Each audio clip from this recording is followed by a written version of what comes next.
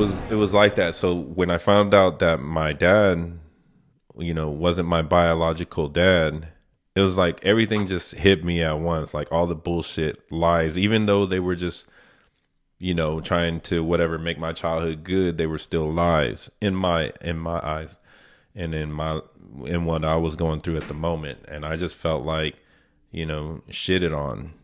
So uh, that really just spiraled me out of control. I started getting in a lot more trouble in Hawaii, getting arrested. I wasn't even staying with my aunt and them no more.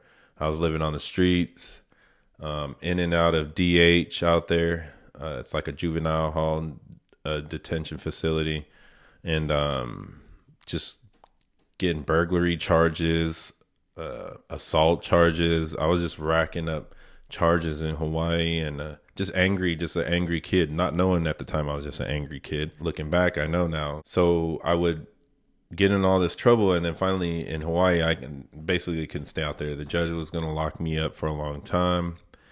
And so I ended up getting sent back to California. So you can imagine now, I've been living on the streets, a few years away from my home, away from parents, away from everything.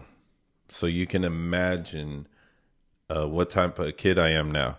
I'm no longer the same, you know, and I've been pretty much on my own since I was 12. And so listening to my parents, that's not happening.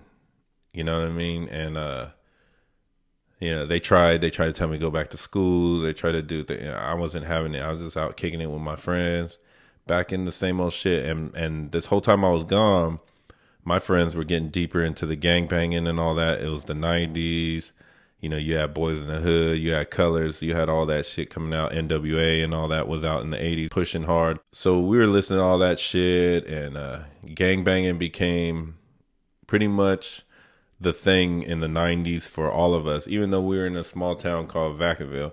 Some of these dudes uh, came from LA, came from the Bay Area because you know like i said before the prison some of them were there to be closer to their dads who were locked up and uh, so on so on, or their parents that wanted to come over here for a better job. So, but these kids that came from the Bay and from LA and all that, they brought that gang shit.